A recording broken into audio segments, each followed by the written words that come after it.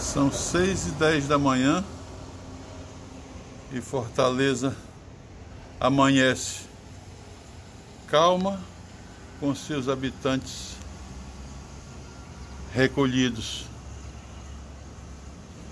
para que não venham a contrair e nem propagar o vírus denominado corona.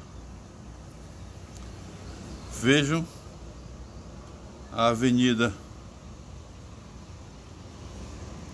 Engenheiro Santana Júnior, que em dias comuns, em sábados comuns, a essa hora já estaria plena de carros num vai e vem para trabalho e outras atividades.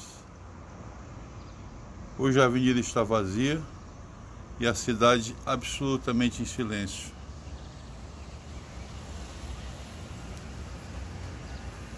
Peçamos a Deus que esse esforço seja recompensado, que esse terrível vírus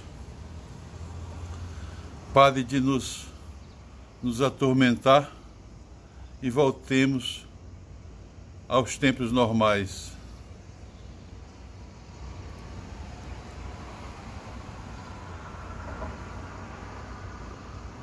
É o que eu tenho a dizer.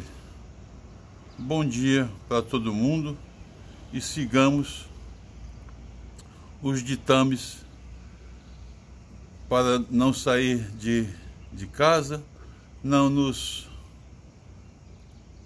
expormos ao terrível vírus e pedir a Deus que tudo passe o mais rápido possível, possível e o sol volte novamente a brilhar para todo mundo.